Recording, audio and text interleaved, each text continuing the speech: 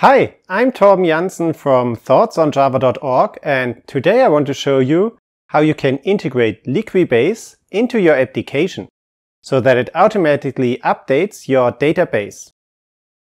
That is especially interesting when you build smaller applications that don't run in a highly regulated enterprise environment. In these situations, it's often not possible to run the update process yourself and there might be no operations team which executes the SQL scripts. So you need to run the database update automatically when you start your application. There are several ways to do that. If you are building a plain Java application, you can use the Liquibase API to trigger the update. And it gets even easier if you are using a CDI container, for example in a Java EE application server, or Spring. I will show you all three approaches in this video. Let's start with the plain Java environment. Before you can use the Liquibase API, you need to add the required dependencies to your application.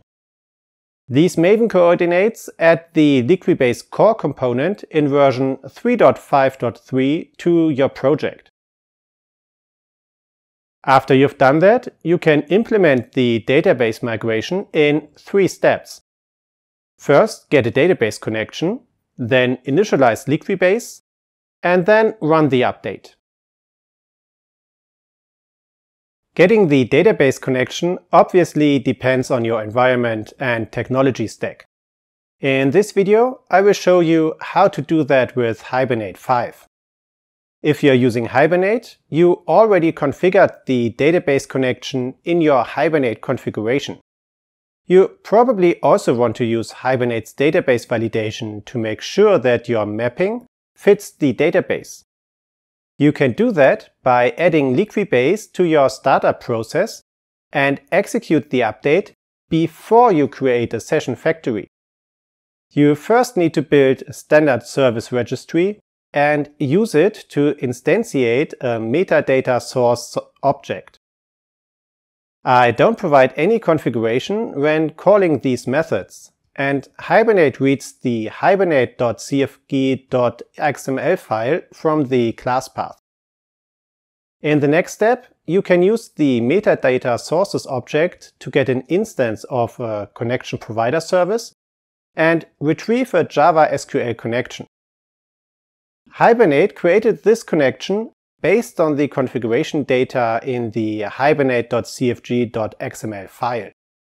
You can then use the connection object to create a Liquibase specific JDBC connection. Now you have everything you need to initialize Liquibase. You first need to create a database object and provide the name of the changelog file, a class loader resource accessor, and the database object. Then you can call the update method with a reference to the context you want to use for your database update. After you've updated your database, you can follow Hibernate's standard bootstrapping process. You therefore use the metadata sources object to build your metadata and build a session factory. That's all you need to do to integrate Liquibase into your Java SE application. Every time you start the application, Liquibase will check the database and perform the required updates. Integrating Liquibase into your Spring Boot application is extremely easy. You just have to add the Liquibase core to your class path. That's all you need to do. The Liquibase integration will automatically load the master changelog file from the db changelog directory. The CDI integration is also a lot easier than integrating Liquibase into a plain Java SE application. But it requires a little more work than the Spring Boot integration. You need to add these two dependencies to your project and include them in your deployment. After you've done that, you need to implement a CDI bean with three producer methods.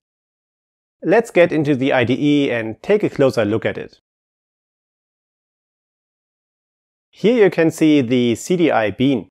It implements a producer method for a CDI liquibase config, a data source, and a resource accessor object. The CDI liquibase config object contains a reference to the master changelog file. So please make sure that you reference a file within your deployment unit or that you use an external path which you can access from within the CDI container on all machines. I explained the content of this file in more details in the first video of this series. The producer of the data source object is simple. It just returns the object that I injected up here. And in the producer of the resource accessor object, I used the class loader of the current bean to instantiate a new class loader resource accessor. That's all you need to do. When you deploy this application into a CDI container, Liquibase will run the deployment and update the database. That was probably a, lot easier than you expected when I told you that you need to implement three producer methods. Okay, that's it for today. If you want to learn more about Hibernate, you should join the free Thoughts on Java library.